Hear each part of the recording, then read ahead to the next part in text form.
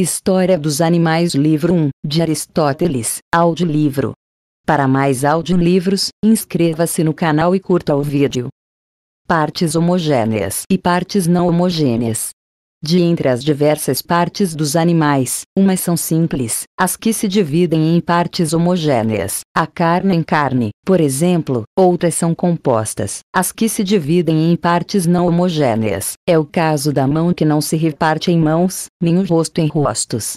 De entre estas últimas, algumas não apenas se podem designar por partes, mas mesmo por membros, Trata-se daquelas que, no seu todo, comportam em si outras partes diferentes, como a cabeça, a perna, a mão, o conjunto do braço e o tronco.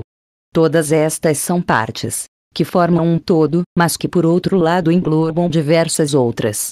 Todas as partes não homogêneas se compõem de outras homogêneas. Veja-se a mão, que é formada de carne, tendões e ossos.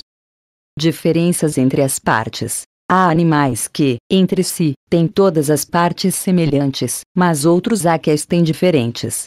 Há os especificamente semelhantes. Assim o nariz ou o olho de um ser humano é idêntico ao nariz ou ao olho de outro, como também a carne é carne, ou o osso ao osso. O mesmo se passa com o cavalo e com os restantes animais, que consideramos pertencentes à mesma espécie.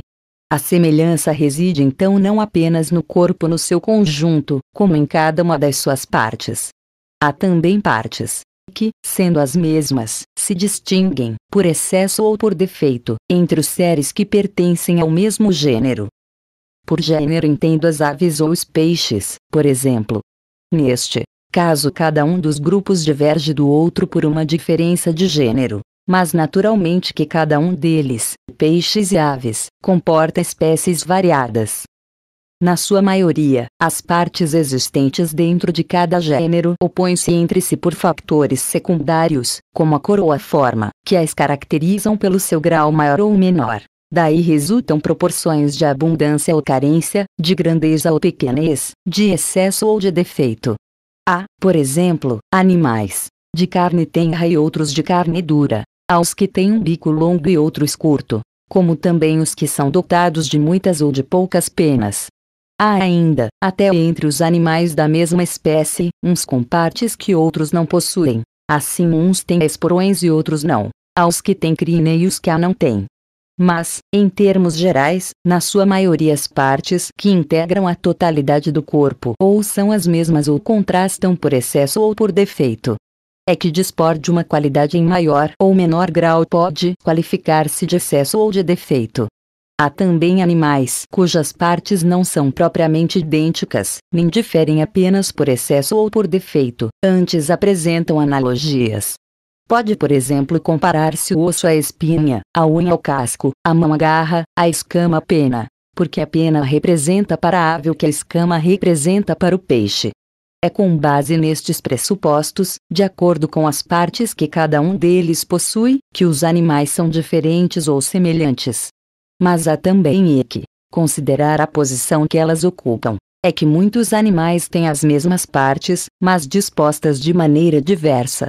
Veja. Se o caso das mamas, que uns têm no peito e outros junto às coxas, de entre as partes homogêneas, umas são moles e úmidas, outras, secas e duras. As úmidas ou são permanentemente, ou enquanto se conservam no seu estado natural. Estão neste caso o sangue, o soro, a gordura, o sebo, a medula, o esperma, a bilis, o leite nos animais que o têm, a carne ou outras equivalentes. No mesmo número, ainda que de outro tipo, contam-se também as substâncias residuais, como o muco, ou as excreções do ventre e da bexiga. Por seu lado, as partes secas e duração, por exemplo, os tendões, a pele, as veias, os pelos, os ossos, as cartilagens, as unhas e os cornos, este mesmo nome aplica-se à parte, uma vez que, devido à forma, também o conjunto é designado por corno, e outras semelhantes. Diferentes classes de animais. As diferenças entre os animais dizem respeito ao seu modo de vida, atividade, caráter e partes que os constituem. Estes são aspectos que primeiro abordaremos na generalidade, para depois nos determos e tratarmos cada gênero em particular. As diferenças relativas ao modo de vida, ao caráter e à atividade são as seguintes. Os animais repartem-se em aquáticos e terrestres. Há aquáticos de dois tipos: os que vivem e se alimentam dentro de água, que a ingerem e depois a expelem, e que não sobrevivem fora dela, como acontece com a maioria dos peixes. Outros alimentam-se e vivem na água, mas inspiram ar e não água, como também se reproduzem fora dela. Muitos destes animais têm patas, como a lontra, o castor e o crocodilo. Outros têm asas, como o gaivão e o mergulhão. Outros são ápodes, como a cobra de água. Alguns há que encontram alimento dentro de água e não podem viver fora dela. No entanto, não respiram ar nem água, como a anemone e as ostras. Dos seres aquáticos, uns vivem no mar, outros nos rios, ou nos lagos e pântanos, como a rã e o tritão diferentes modos de vida. Entre os animais terrestres, uns ingerem e expelem ar, o que se chama inspirar-expirar. É o caso do homem e de todos os animais terrestres que têm pulmões. Outros não inspiram ar, mas vivem e alimentam-se na terra, caso da vespa, da abelha e dos outros insetos. Chamo insectos aos animais cujo corpo apresenta segmentos, quer na face ventral, quer nesta e na dorsal. Muitos dos animais terrestres, como se disse atrás, vão buscar alimento à água. Pelo contrário, entre os aquáticos que ingerem água do mar, nenhum o vem buscar a terra.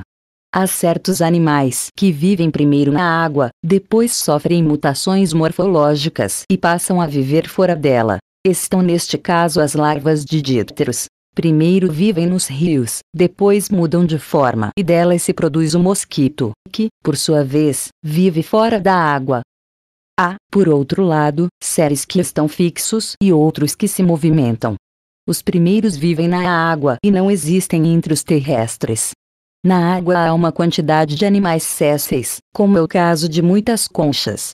Dá a ideia de que a esponja tem também algumas sensações. A prova está, é pelo menos o que se diz, em que é mais difícil arrancá-la se não se for discreto na aproximação. Há também os que ora estão fixos, ora se soltam, como acontece com o gênero das chamadas de actíneas. Entre elas algumas soltam-se de noite e vão à procura de alimento. Do mesmo modo existem muitos que, mesmo sem estarem fixos, não têm capacidade de se mover, por exemplo as ostras e as chamadas ulotúrias. Outros nadam, peixes, cefalópodes e crustáceos, como, por exemplo, as lagostas. Outros marcham, como é o caso dos caranguejos, que são por natureza aquáticos, mas que têm a capacidade de marchar. Entre os terrestres há os que têm asas, como as aves e as abelhas, ainda que cada um deles à sua maneira, e outros, patas, Destes últimos, uns marcham, outros rastejam, outros ainda movem-se por ondulações. Não há um único animal que seja só voador, como os peixes, que só sabem nadar. De facto, mesmo os animais de asas membranosas sabem andar. Por exemplo, o morcego tem patas e a foca tem nas também atrofiadas. De entre as aves as que têm patas pouco desenvolvidas, razão por que lhes chamamos ápodes. Aves deste tipo, de pequeno porte, são excelentes voadoras.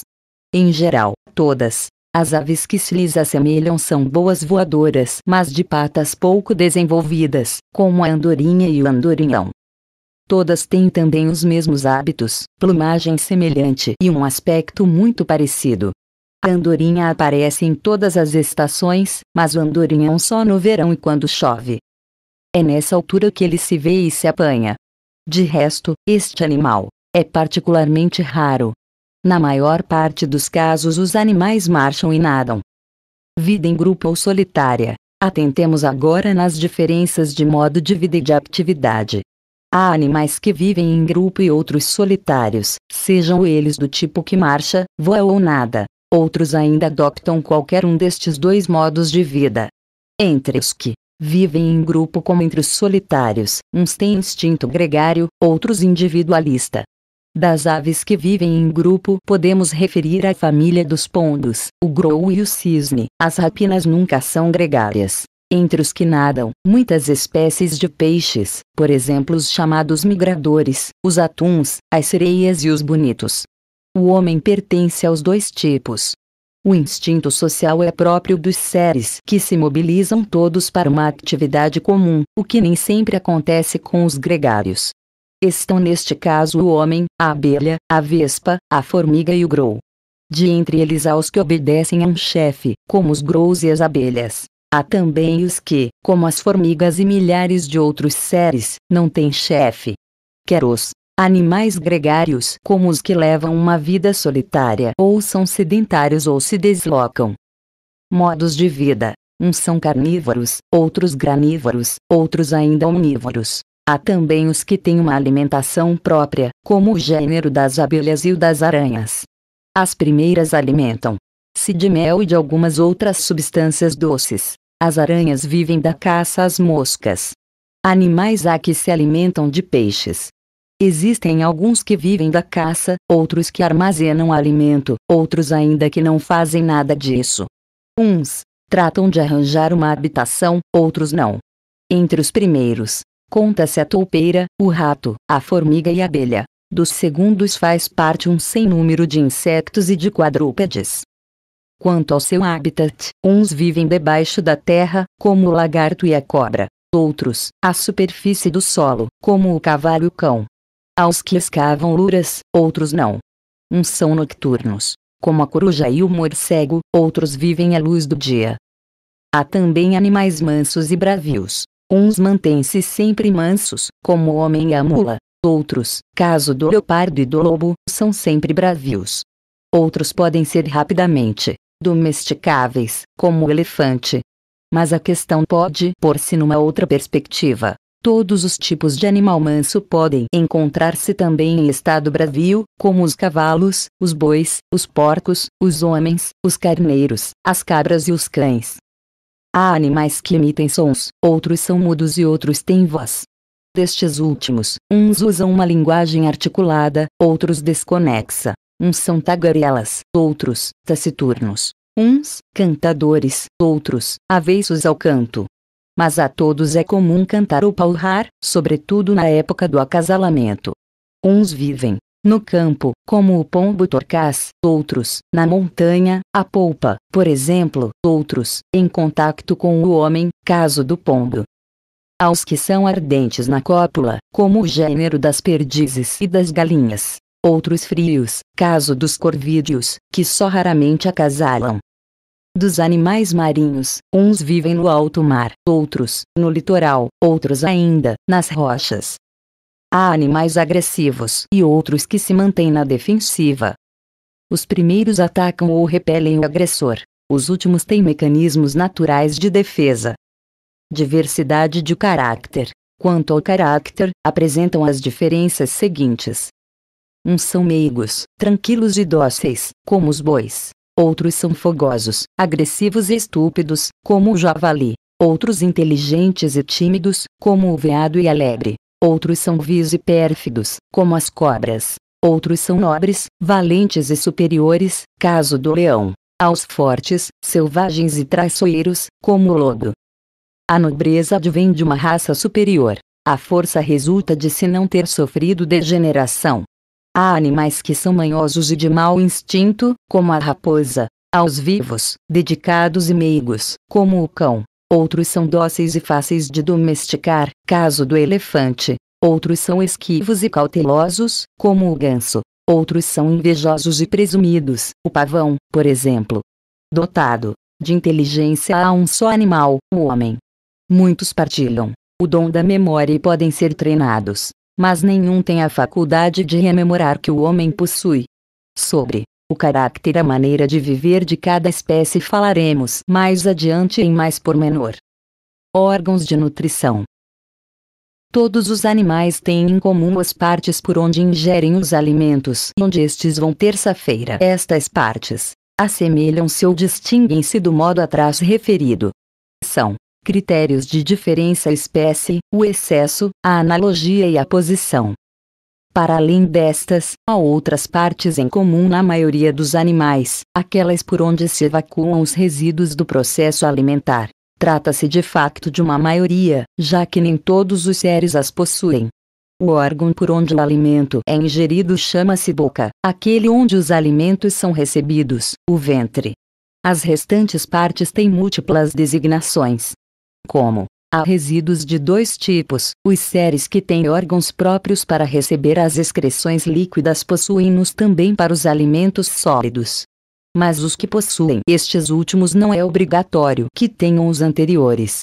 Assim, os que têm bexiga, têm também intestino, enquanto dos que têm intestino nem todos têm bexiga. Chama-se bexiga o órgão que recebe os resíduos líquidos e intestino ao que recolhe os sólidos outros órgãos. Dos restantes animais, a maior parte possui, além destes órgãos, aquele que ejacula o esperma. Nos que têm a faculdade de se reproduzir, essa emissão é feita ou neles próprios ou num parceiro. Chama-se fêmea o animal que emite em si próprio e macho ao que ejacula o esperma no outro. Em algumas espécies não existe macho e fêmea. Por seu lado, os órgãos que desempenham esta função variam de forma Há animais que têm útero, outros, algo que lhe equivalha. Estas a que me venho referindo são as partes prioritárias nos animais. Umas existem em todos, outras, numa grande maioria. Há por outro lado um sentido que é o único comum a todos os animais, o tacto. Mas qual a parte em que a natureza o implantou não tem designação própria. Para uns esse órgão é o mesmo, para outros, um análogo. Todos os animais possuem um líquido cuja falta, ocorrida natural ou acidentalmente, os põe em risco. O receptáculo, onde se encontra este líquido, constitui uma outra parte. Para uns trata-se do sangue dos vasos sanguíneos, para outros, de algo equivalente. Mas neste caso os elementos em causa, a fibrina e o soro, por exemplo, são imperfeitos. Voltando ao tacto, ele está localizado numa parte homogênea, como a carne ou algo semelhante, e de um modo geral nas partes sanguíneas dos animais que têm sangue, ou, nos que o não têm, numa parte análoga. Mas em ambos os casos ele existe nas partes homogêneas.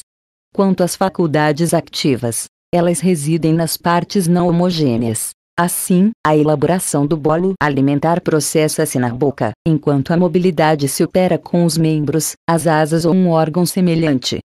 Além disso, os animais repartem-se em sanguíneos, como o homem, o cavalo e todos os que, depois de consumado o seu crescimento, ou não têm patas, ou têm duas ou quatro patas, e em não sanguíneos, caso da abelha e da vespa, ou, entre os marinos, do choco e da lagosta, como também de todos os animais que têm mais de quatro patas. Modos de reprodução. Os animais podem ser vivíparos, ovíparos ou larvíparos.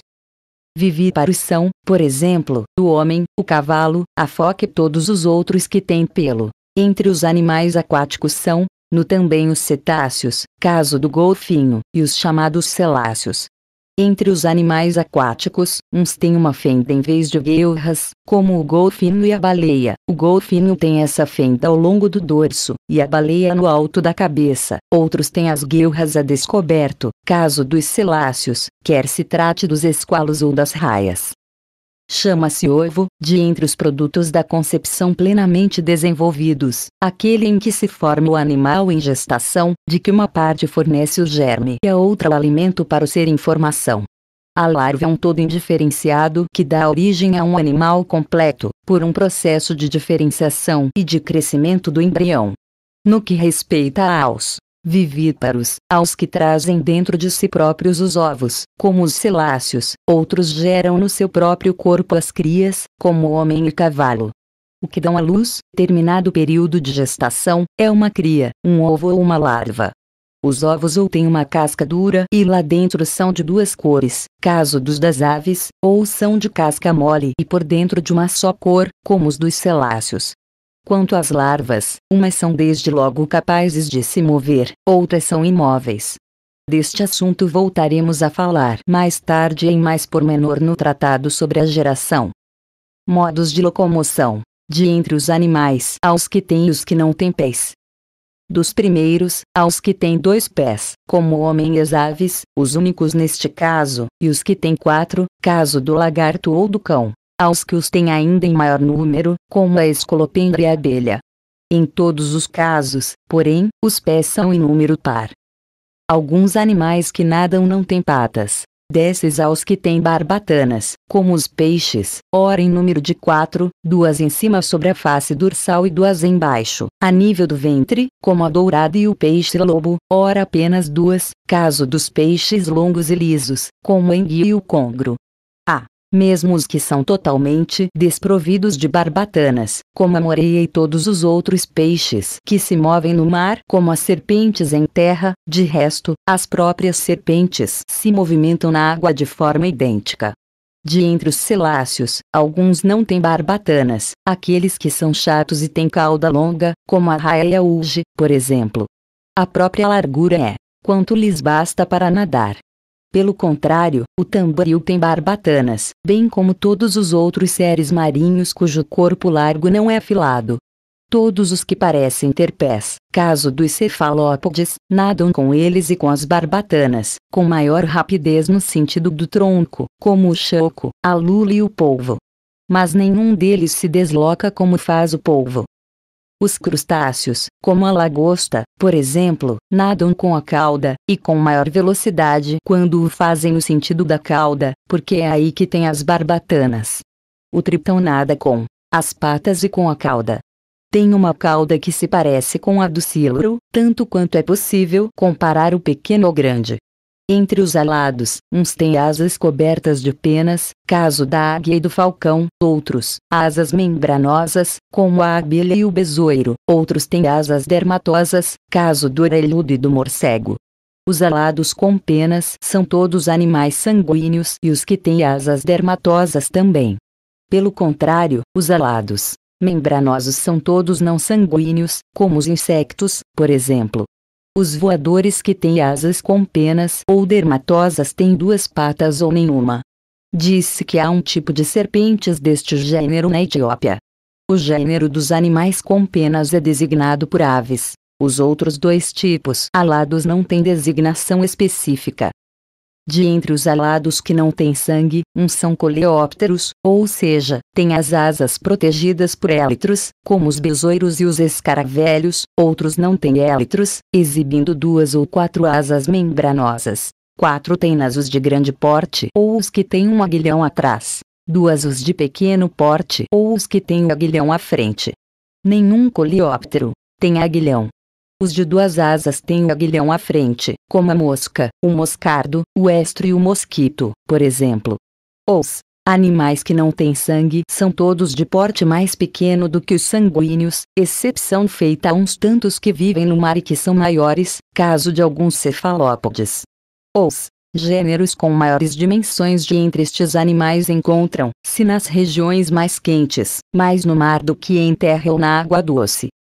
Os animais que se movimentam fazem-no sobre quatro pontos de apoio pelo menos. Os sanguíneos só têm quatro, caso do homem, que dispõe de duas mãos e de dois pés, das aves, que têm duas asas e duas patas, dos quadrúpedes e dos peixes, que têm respectivamente quatro patas ou quatro barbatanas. Os que têm duas barbatanas ou nenhuma, como a serpente, não deixam por isso de ter quatro pontos de apoio é que as suas flexões fazem-se em quatro pontos, ou em dois mais as barbatanas. Os não sanguíneos com muitas patas, quer sejam voadores quer terrestres, apoiam-se em mais do que quatro pontos na sua locomoção, caso do chamado efêmero, que tem quatro patas e quatro asas. Este é um ser singular não só pela duração curta de vida, de onde lhe vem o nome, mas também porque, apesar de alado, tem quatro patas, Todos os animais, quer tenham quatro patas, quer mais, se movem do mesmo modo, ou seja, em diagonal. Outros têm duas patas condutoras, à exceção do caranguejo, que tem quatro. Gêneros e espécies. Os grandes gêneros em que se repartem os outros animais são os seguintes: o das aves, o dos peixes e o dos cetáceos. Todos eles são sanguíneos. Há ainda outros gêneros, o dos testáceos, a que chamamos conchas, o dos crustáceos, que não tem um nome único, onde se incluem as lagostas, alguns tipos de caranguejos e os lavagantes, e ainda dos cefalópodes, a que pertencem as lulas pequenas, as gigantes e os chocos, e o dos insectos. Estes quatro últimos gêneros são não sanguíneos e os que exibem patas tenas em grande número. Entre os restantes animais não há propriamente grandes gêneros. De facto, uma certa espécie não inclui várias espécies. Porém, tanto ela é simples e não se subdivide, caso do homem, ou, se se subdivide em espécies, estas não têm nomes distintos.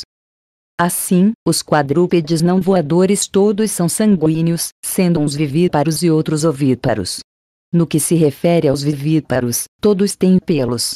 Os ovíparos são dotados de placas córneas. Estas placas assemelham-se às escamas pela disposição. O gênero das serpentes, que é apude por natureza, pertence aos sanguíneos e move-se sobre a terra. Possui placas, córneas. Mas enquanto as serpentes em geral são ovíparas, a víbora é a única vivípara. Os vivíparos nem todos têm pelos, pois há determinados peixes que são vivíparos.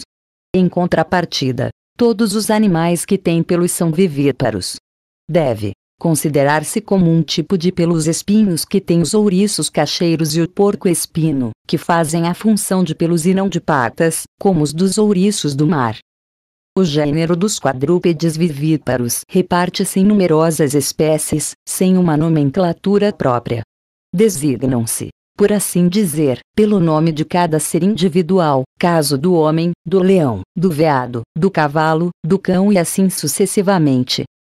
Existe, no entanto, uma nomenclatura para os animais com cauda de longas crinas, como o cavalo, o burro, a mula, o garramo e aquilo que na Síria se chama emino, que vai buscar o nome e semelhança que tem com os burros, ainda que de modo algum pertença à mesma espécie. De facto, estes animais acasalam e geram cria só entre eles.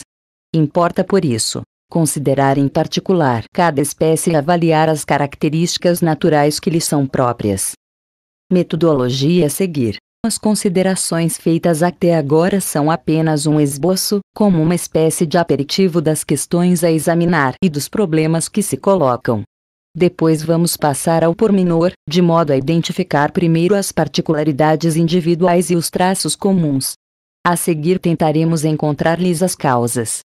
Esta é, de facto, a metodologia que se impõe naturalmente depois de feita a investigação sobre cada caso concreto.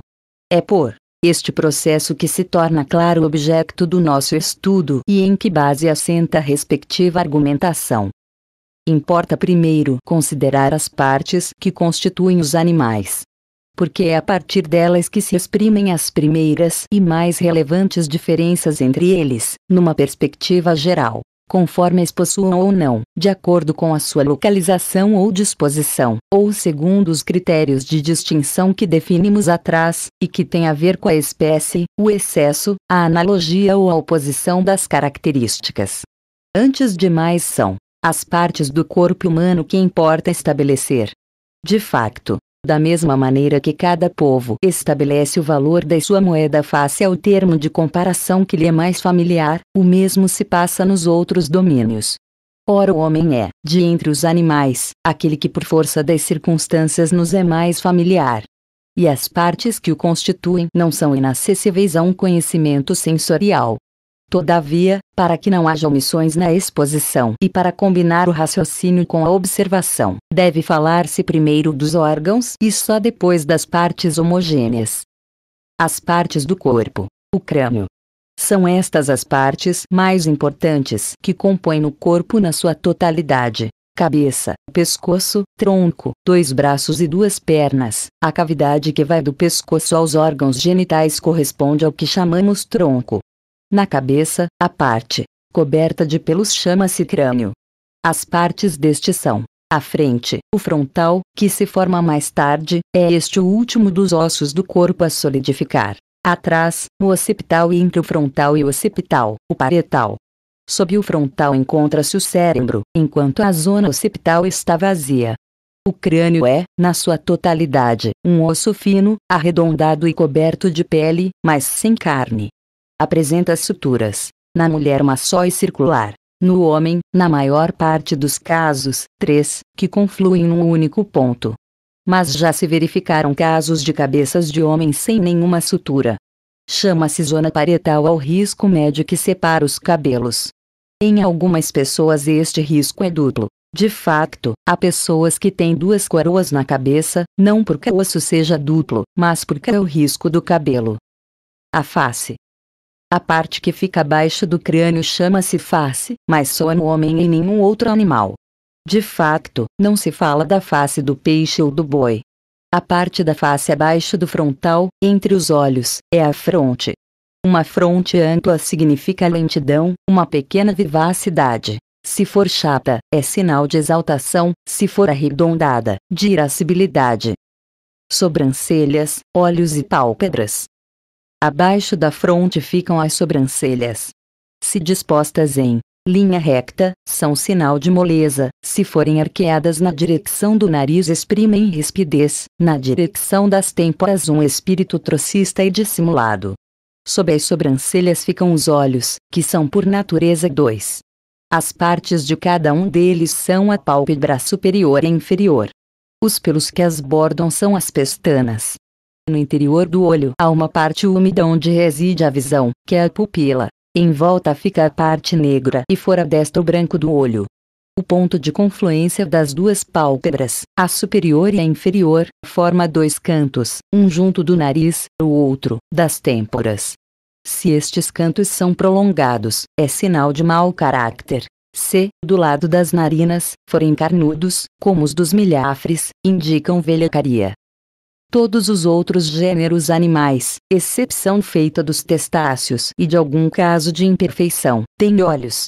Todos os vivíparos os têm, salvo a toupeira, embora de certa maneira possa aceitar-se que elas têm também, mas não de uma forma plena é que ela não vê absolutamente nada, nem tem olhos que se percebam do exterior. Mas quando se lhe arranca a pele, ela tem a região correspondente aos olhos, bem como a parte negra do olho no sítio previsto, e o espaço exterior onde naturalmente os olhos se encontram. Daí se infere que houve interrupção no processo de formação dos olhos e que a pele os cobriu. Se voltados para baixo, inveja. Os olhos, o branco do olho é fundamentalmente o mesmo para todos os animais, mas o que se chama o negro apresenta diferenças. Nuns é preto, noutros, azul escuro, noutros, cinzento, em alguns, amarelado, como nas cabras. Esta última cor é sinal de muito bom caráter e a que permite a melhor acuidade visual. O homem é o único, ou aquele que, de entre os animais, mais variada tem a cor dos olhos. Os outros só têm, uma variedade de cor, salvo alguns cavalos, que têm os olhos azuis. Os olhos podem ser grandes, pequenos ou médios. Os médios são os melhores. Podem ser salientes, profundos ou intermédios. Quanto mais profundos, mais penetrantes, seja em que animal for. Os intermédios são sinal de bom caráter. Podem também ser pestanejantes, fixos ou de uma qualidade intermédia. Estes últimos são indício de muito bom caráter, os primeiros de insegurança e os fixos de descaramento.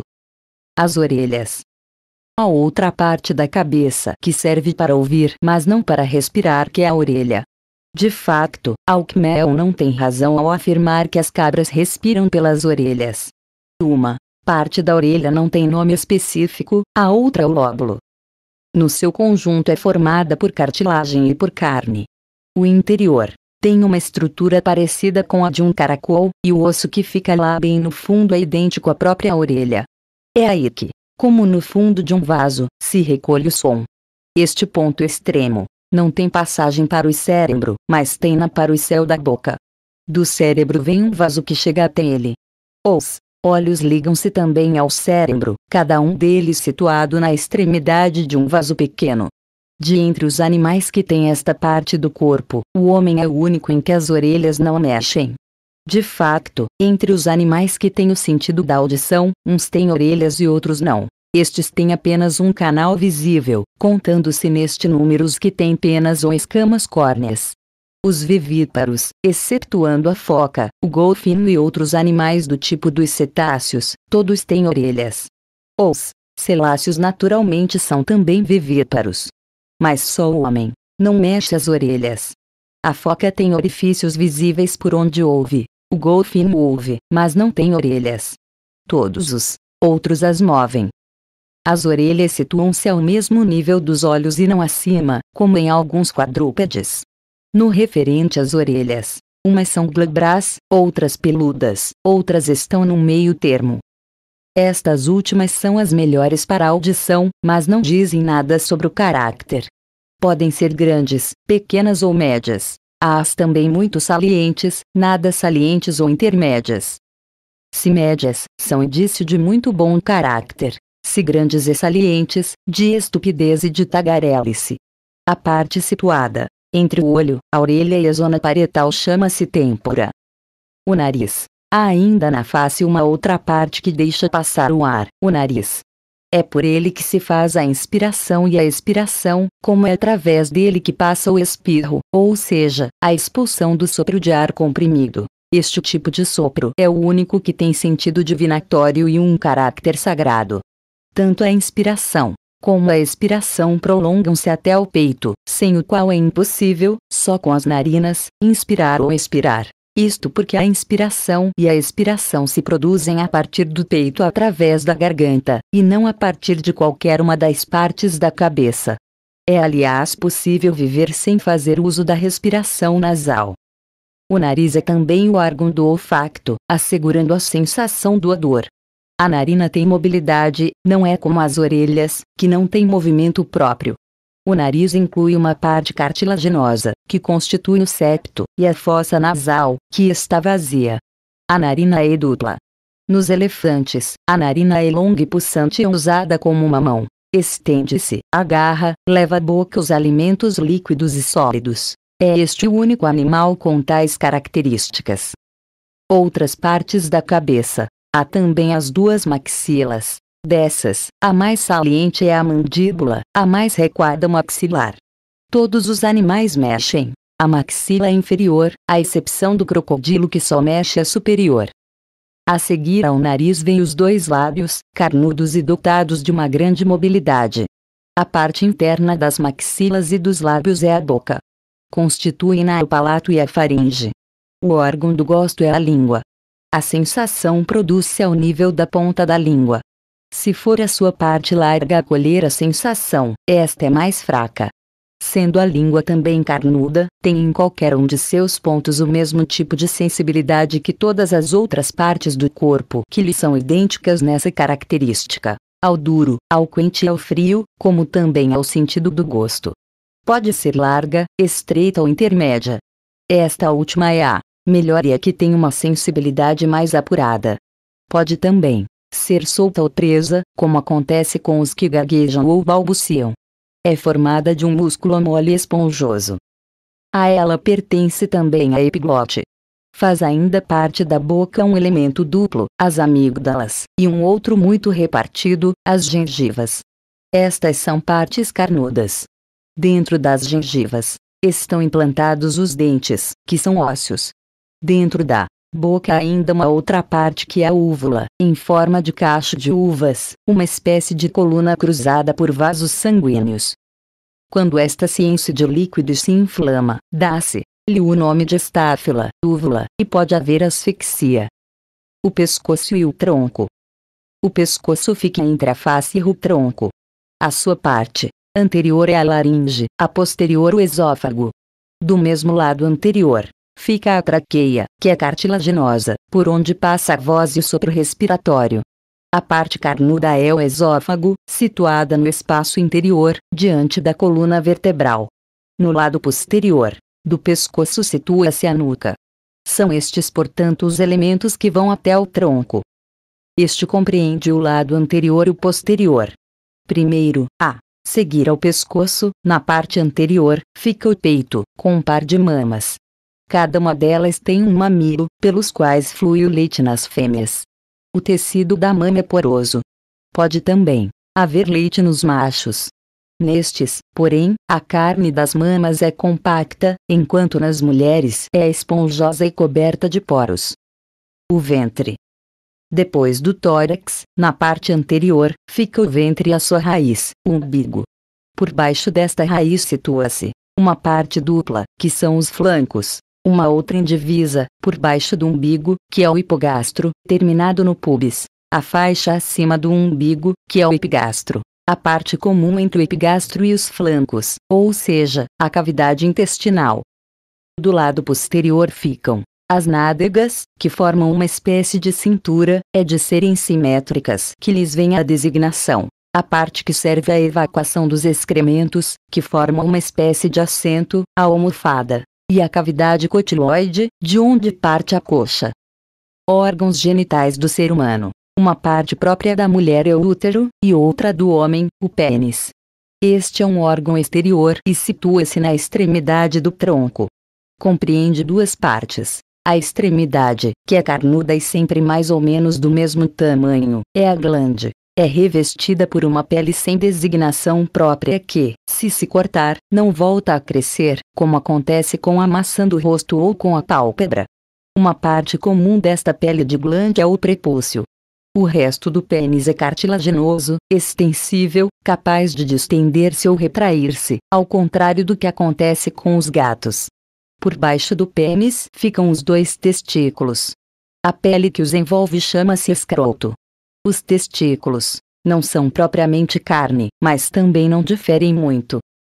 Sobre a natureza de todos estes órgãos far-se-á mais adiante, com pormenor, um estudo global. Órgãos genitais da mulher. Os órgãos genitais da mulher têm uma configuração inversa aos do homem. De facto, a parte situada debaixo do pubis é côncava e não saliente, como a do macho. Nela fica a uretra, fora do útero, que dá passagem ao esperma. Ambos os sexos têm um canal para evacuação de fluidos.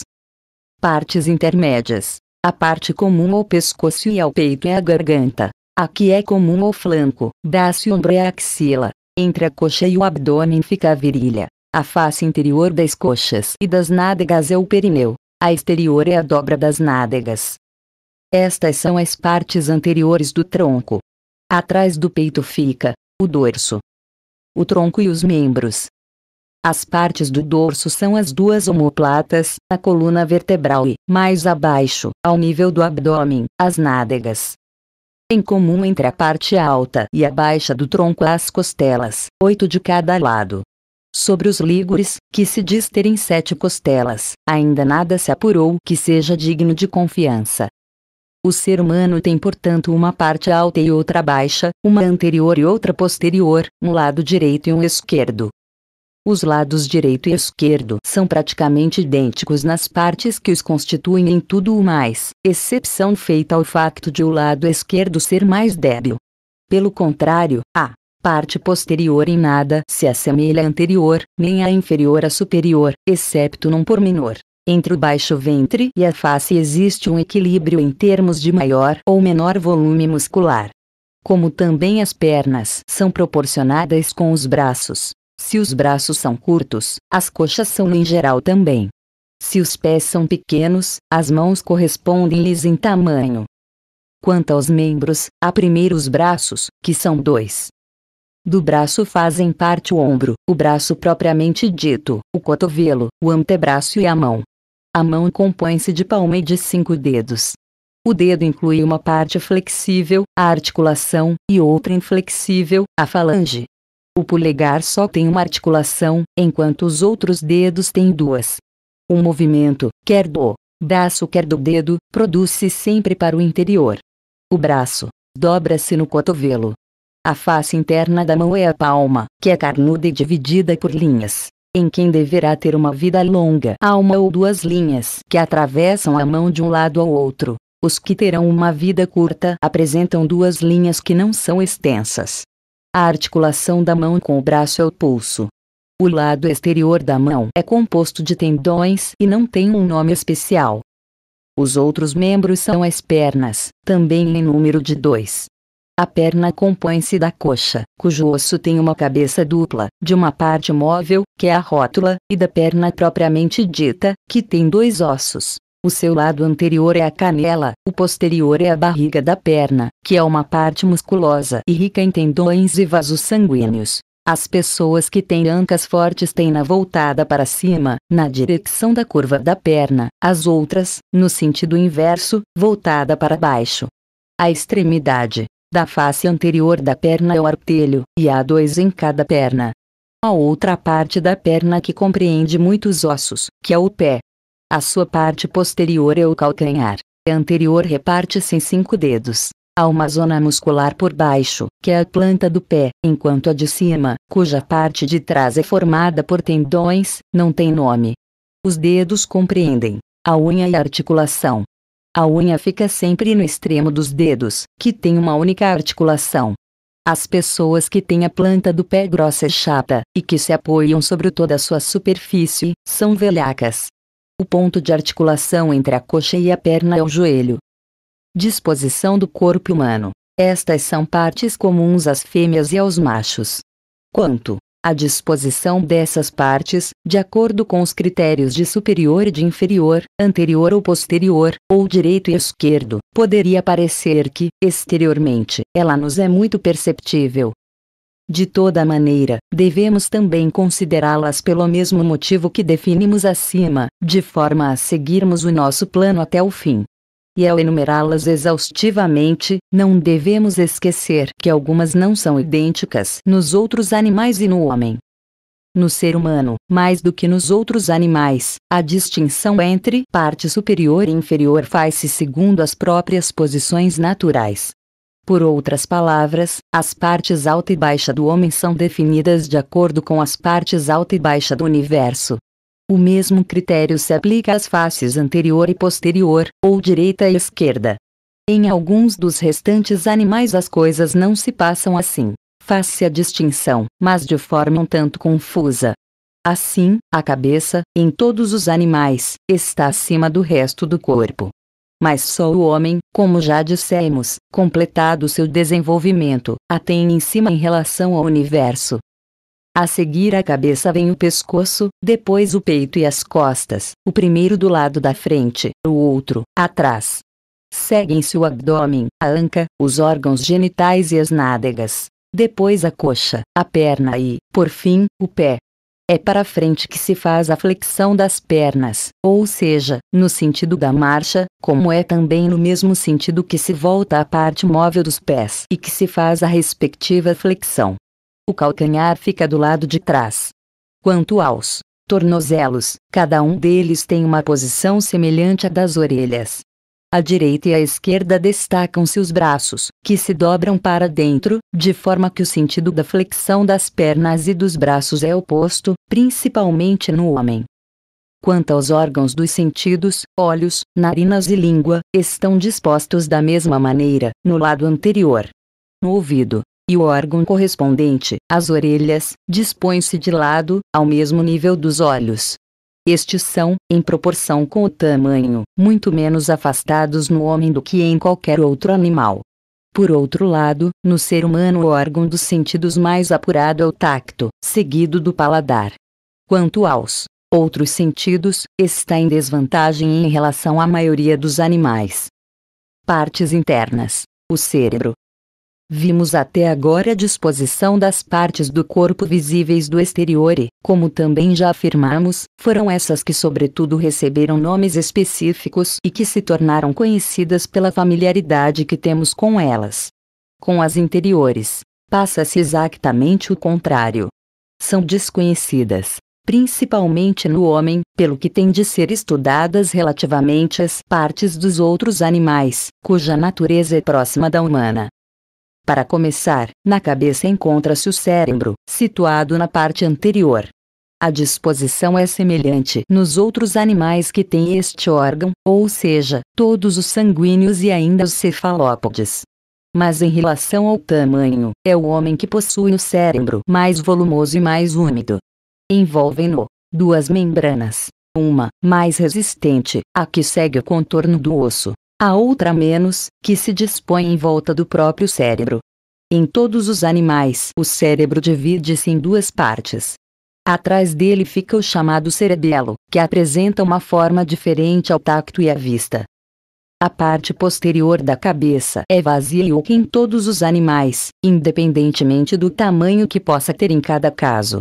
De fato, alguns têm a cabeça grande e a parte correspondente à face que lhe fica por baixo menor. É o caso dos que têm a face redonda. Outros têm a cabeça pequena, mas as maxilas alongadas, como todo tipo de animais equinos. O cérebro é, em todos os animais, desprovido de sangue ou não tem, no seu interior, qualquer vaso sanguíneo. No seu estado natural é frio tacto. Mas tem lá dentro, na maior parte das espécies, uma cavidade pequena. A meninge que o envolve é cruzada por vasos sanguíneos. A meninge é uma membrana, parecida com a pele, que rodeia o cérebro. Sobre o cérebro, fica um osso que se chama frontal, que é o mais fino e mais frágil dos ossos da cabeça. Do olho seguem para o cérebro três ligações, uma maior e outra média que acabam no cerebelo e uma mais pequena que vai mesmo até o cérebro. Essa menor situa-se muito perto da narina. Assim, as maiores são paralelas e não confluem entre si, enquanto as médias se encontram. Este facto é particularmente visível nos peixes. Estas últimas ligações estão mais perto do cérebro do que as grandes. Pelo contrário, as mais pequenas estão muito afastadas umas das outras e não convergem. Aparelho respiratório. No interior do pescoço fica o chamado esôfago, que vai buscar a outra designação porque é conhecido a sua forma longa e estreita, e a traqueia. Esta situa-se diante do esôfago em todos os animais que a possuem. É o caso dos que têm pulmões. A traqueia é de natureza cartilaginosa e tem pouco sangue, apesar de ser rodeada por uma rede de pequenos vasos sanguíneos. A sua parte superior situa-se a nível da boca, no ponto em que as narinas comunicam com esta. Quando, no acto de beber, se aspira algum líquido, é por aí que ele é repelido da boca através das narinas. Entre as duas aberturas fica a chamada epiglote, que é um órgão capaz de dobrar-se e de cobrir o orifício da traqueia que comunica com a boca. Estale, ligada à extremidade da língua, no outro extremo, a traqueia desce até a zona que fica entre os pulmões e, a partir daí, divide-se em dois braços que se dirigem um para cada metade do pulmão. De facto, o pulmão tende a ser duplo em todos os animais que o têm. Mas nos vivíparos esta repartição não é particularmente visível, e menos ainda no homem. Portanto, no ser humano o pulmão não tem muitas ramificações, como em certos víparos nem tão pouco é liso, antes apresenta à superfície certas rugosidades. Nos ovíparos, caso das aves e dos quadrúpedes ovíparos, as duas partes do pulmão estão claramente separadas uma da outra, de modo que parece haver dois pulmões. Da traqueia, que é só uma, partem dois braços que se estendem a cada parte do pulmão. Este está também ligado à veia cava e a uma artéria conhecida por aorta, quando a traqueia se incendiar, este distribui-se pelas cavidades do pulmão. Estas têm separações cartilaginosas que terminam em ponta. Nesses separadores abrem-se bolsas, que se espalham por todo o pulmão, de dimensões cada vez mais minúsculas. O coração está também ligado à traqueia por ligamentos de gordura, cartilagens e tendões. O ponto de ligação forma uma cavidade, quando a traqueia se dilata, a entrada do sopro no coração passa despercebida em certos animais, mas nos de maior porte, é perceptível. É esta a função a que se circunscreve a traqueia. Serve apenas para receber e repelir o ar e nenhuma outra substância seca ou líquida. Se tal acontecer, produz-se um incômodo até a expulsão, por um acesso de tosse, da substância intrusa. O esôfago, o esôfago comunica, na parte superior, com a boca, próximo da traqueia. Articula-se com a coluna vertebral e com a traqueia por ligamentos membranosos. Na outra extremidade, atravessa o diafragma até o abdômen. É por natureza carnudo e tem elasticidade, tanto em comprimento como em largura. O estômago e os intestinos. O estômago do homem é idêntico ao do cão, não é muito maior do que o intestino, antes se assemelha a uma espécie de intestino mais distendido. Segue-se um intestino simples, com circunvoluções e bastante largo. O baixo ventre parece-se com o do porco, porque é largo, e a zona que vai do intestino até as nádegas é grossa e curta. O epíplon está ligado à parte média do ventre. Quanto à natureza, é uma membrana adiposa, como nos outros animais com um só estômago e duas fiadas de dentes. Sobre os intestinos encontra-se o mesentério, que é membranoso, também largo e tendencialmente adiposo. Está ligado à veia cava aorta, e atravessado por uma rede densa de inúmeros vasos sanguíneos, que se estendem até a região dos intestinos, de cima até baixo. É isto que importa dizer sobre o esôfago, a traqueia e o aparelho digestivo. O coração. O coração apresenta três cavidades. Está situado acima do pulmão, na bifurcação da traqueia. Tem uma membrana espessa e adiposa no ponto em que está em ligação com a veia cava e a aorta. Apoia-se na aorta com a sua parte mais pontiaguda. E esta última tem a mesma posição relativamente ao peito em todos os animais que têm peito.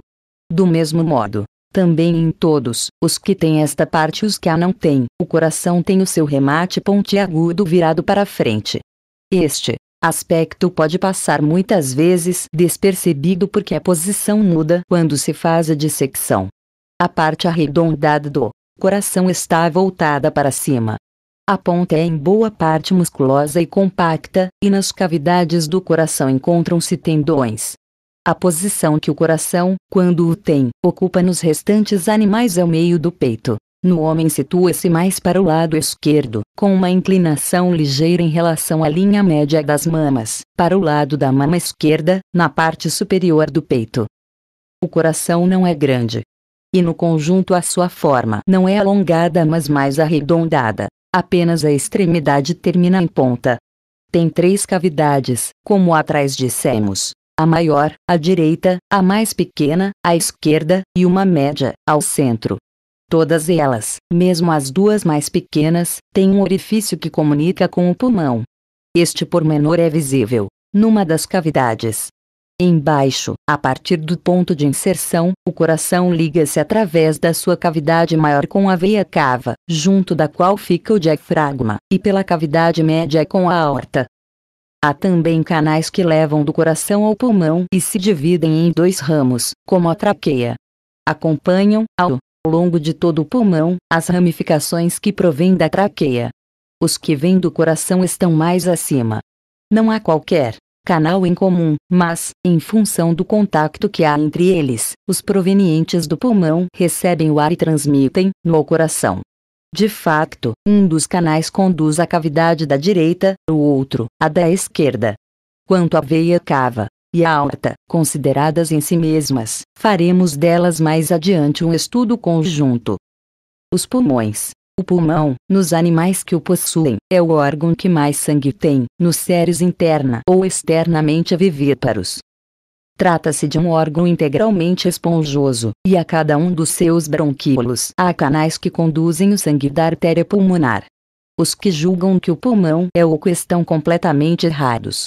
O que acontece é que observam os pulmões retirados dos animais durante a dissecção, quando de imediato eles perdem completamente o sangue. De entre as vísceras, o coração é a única a ter sangue, o pulmão não o tem em si próprio, mas nos vasos que o atravessam, enquanto o coração tem em si mesmo. De facto, tem sangue em cada uma das suas cavidades, em menor quantidade na cavidade central. O diafragma. Por baixo do pulmão fica a membrana torácica chamada diafragma, ligada às costelas, aos hipocôndrios e à coluna vertebral, que na sua parte central é delgada e fibrosa. Está, por outro lado, cruzada de vasos sanguíneos. É no homem que o diafragma é mais espesso, proporcionalmente ao seu corpo. O fígado e baço. Sob o diafragma fica, à direita, o fígado, à esquerda, o baço, sendo esta a posição natural em todos os animais que têm estes órgãos e que não apresentam anormalidades. Mas já se observou a inversão dos órgãos em causa em alguns quadrúpedes. Fígado e baço estão ligados ao ventre pelo epíplon. De aspecto, o baço humano é estreito e comprido como o do porco. Quanto ao fígado, em geral na maior parte dos animais não tem vesícula biliar, que em alguns casos existe. O fígado do homem é arredondado e semelhante ao do boi. Verificam-se, nas vítimas dos sacrifícios, anomalias do gênero num determinado local de cálcis na aldeia, as ovelhas não têm vesícula biliar. Em Naxos, pelo contrário, quase todos os quadrúpedes têm uma tão grande que quem vem de fora e faz lá sacrifícios se choca. É que vê no fenômeno um presságio que diz respeito à sua pessoa, e não uma característica natural dos animais.